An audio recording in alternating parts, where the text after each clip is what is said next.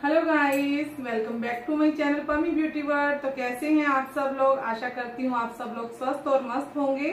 तो चलिए स्टार्ट करते हैं हमारी आज की वीडियो गाइस आज की वीडियो जो हमारी है लेग वैक्सिंग से रिलेटेड होने वाली है और लेग वैक्सिंग के लिए हमने यूज़ की है रीका की व्हाइट चॉकलेट वैक्स बहुत अच्छी वैक्स है. मोस्टली पार्लर में इसी का यूज़ होता है।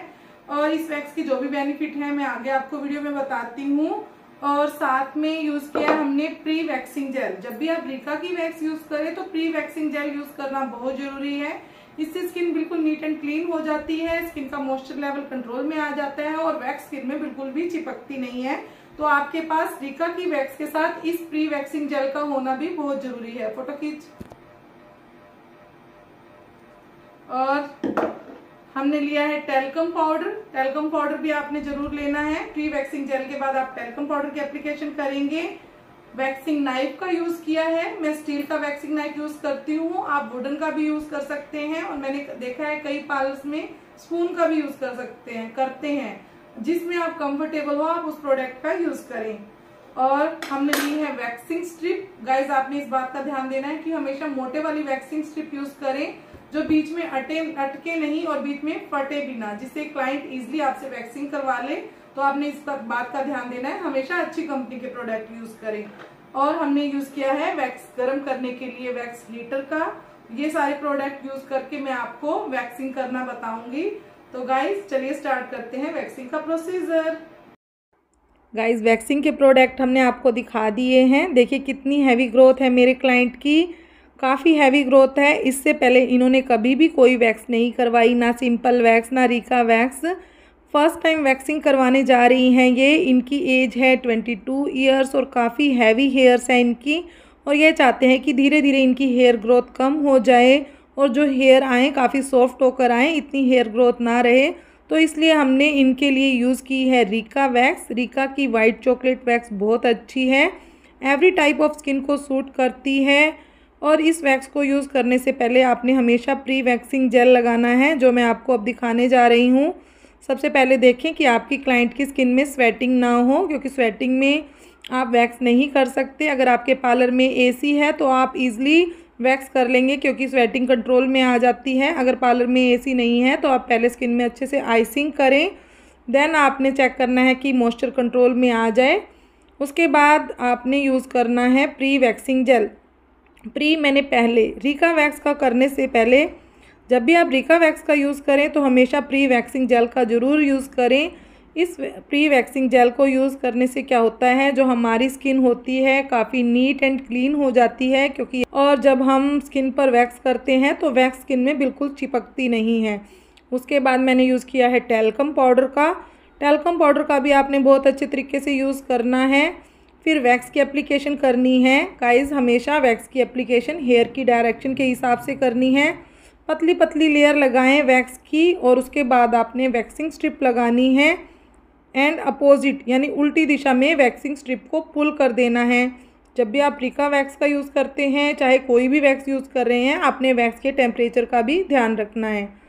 तो जैसे आपको वीडियो में दिखाया जा रहा है, उस तरीके से आपने वैक्सिंग स्ट्रिप को एकदम से पुल कर देना है। और मेरी क्लाइंट फ़र्स्ट टाइम वैक्सिंग करवा रही हैं तो इन्हें वैक्सिंग करवाते टाइम टाइम थोड़ा सा डर भी लग रहा था, क्योंकि वैक्सिंग अगर हम फ़र्स्ट टाइम करवाते हैं तो लगता ही है अच्छी कंपनी की हमने वैक्सिंग स्ट्रिप यूज़ की है, फिर भी यह वैक्सिंग स्ट्रिप बीच में अटक कर फट गई है। तो आप इस बात का ध्यान दें कि अच्छी से अच्छी कंपनी के प्रोडक्ट लाने के बाद भी प्रॉब्लम हो जाती है। तो आप अच्छी कंपनी के ही प्रोडक्ट लाएँ, दूसरी कंपनी के प्रोडक्ट लगाएँगे तो आपकी पट्टियाँ बीच में बार बार फटेंगी।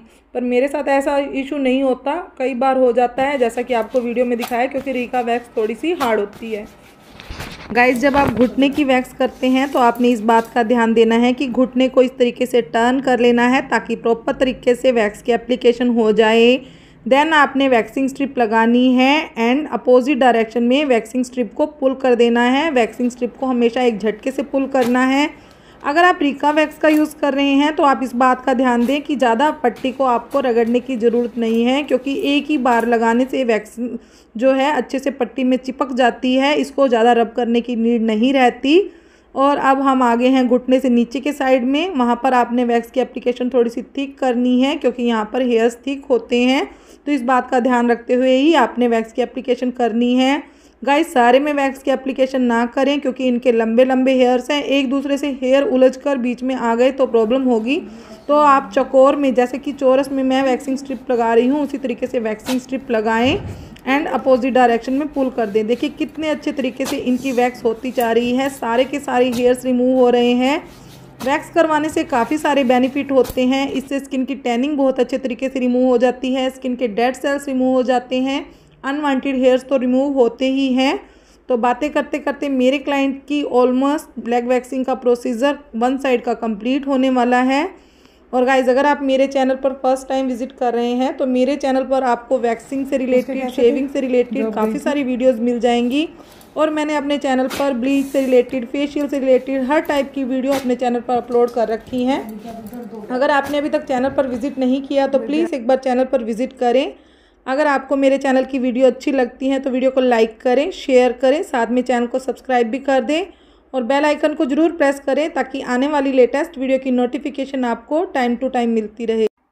गाइज़ अगर आप रिका वैक्स का यूज़ कर रहे हैं तो आप इस बात का ध्यान दें, जब भी आप रिका वैक्स यूज़ करें तो वैक्स हो जाने के बाद आपने स्किन को क्लीन करने के लिए कभी भी पानी का यूज़ नहीं करना, क्योंकि रिका वैक्स को पानी से रिमूव नहीं किया जा सकता। इसके लिए आपको यूज़ करना पड़ेगा कोकोनट ऑयल या फिर आप यूज़ करेंगे रीका का आफ्टर वैक्सिंग जेल जो कि आपको जब आप रीका की वैक्स परचेज़ करेंगे तो वहाँ से परचेज़ करना पड़ेगा। क्योंकि यही दो प्रोडक्ट ऐसे हैं जिससे कि रीका वैक्स को रिमूव किया जा सकता है। कोई बॉडी ऑयल या बॉडी लोशन भी यूज़ कर सकते हैं।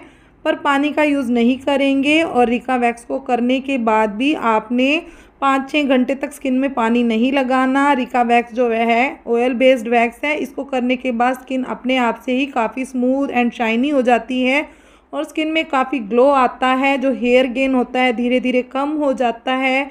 हेयर ग्रोथ भी कम होनी शुरू हो जाती है हेयर काफ़ी लेट आता है।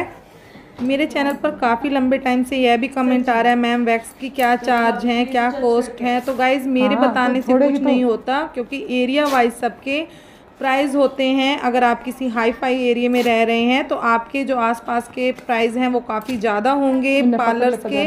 अगर आप किसी नॉर्मल साइड में रह रहे हैं तो कम होंगे और अगर आप उससे भी ऐसे एरिया में रहते हैं जहाँ की छोटे मोटे पार्लर हैं तो वहाँ पर रेट काफ़ी कम हो जाते हैं। तो आप अपने आसपास के पार्लर से या सैलून पर जाकर प्राइस पूछ सकते हैं कितना है। अगर मेरे पास कोई फुल लेग वैक्सिंग करवाता है तो रिका वैक्स का प्राइस रहता है फाइव हंड्रेड रुपीज़ और हैंड वैक्सिंग का भी with under arms five hundred rupees रहता है। अगर फुल बॉडी रिका वैक्स करवाई जाती है तो प्राइस रहता है three thousand rupees guys, proper तरीके से वैक्स की जाती है और उसके बाद अच्छे से बॉडी ऑयल की मसाज दी जाती है, तब इतना प्राइस लगता है। अदरवाइज़ सिंपल वैक्स कोई करवाता है, जैसे एलोवेरा वैक्स होगी तो इसका प्राइस रहता है fifteen hundred to two thousand rupees तो यह आपके एरिए के हिसाब से होता है। कोई कितना प्राइस लेता है तो आप इस बात को यहाँ से पूछ कर ना अपने आसपास के एरिए में प्राइस का पता करें। आपको ईज़िली पता चल जाएगा, क्योंकि हर शहर का, हर एरिए का रेट अलग अलग होता है तो आप उस हिसाब से रेट का पता कर सकते हैं।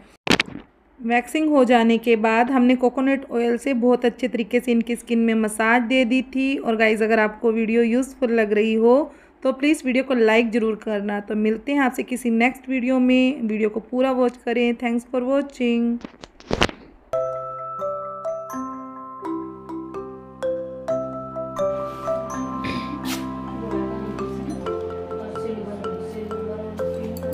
Love me.